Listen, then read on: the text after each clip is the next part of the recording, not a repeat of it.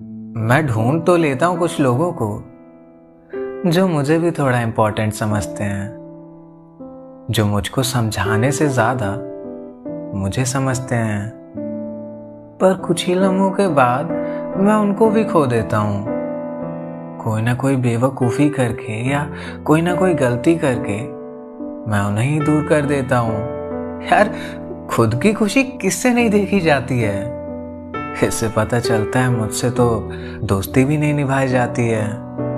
क्योंकि बहुत कम ऐसा होता है कि कोई मेरे लिए भी कुछ करता है। बिना किसी वजह के, बिना किसी मकसद के कोई शख्स मुझे अपना कहता है। पर फिर मैं उन रिश्तों को संभालने के बजाय खुद तोड़ दिया करता हूँ। मुझे अब जाके समझ आया कि अच्छे लोग मुझे नहीं, मैं अच्छे लोगों को छोड़ दिया करता हूँ।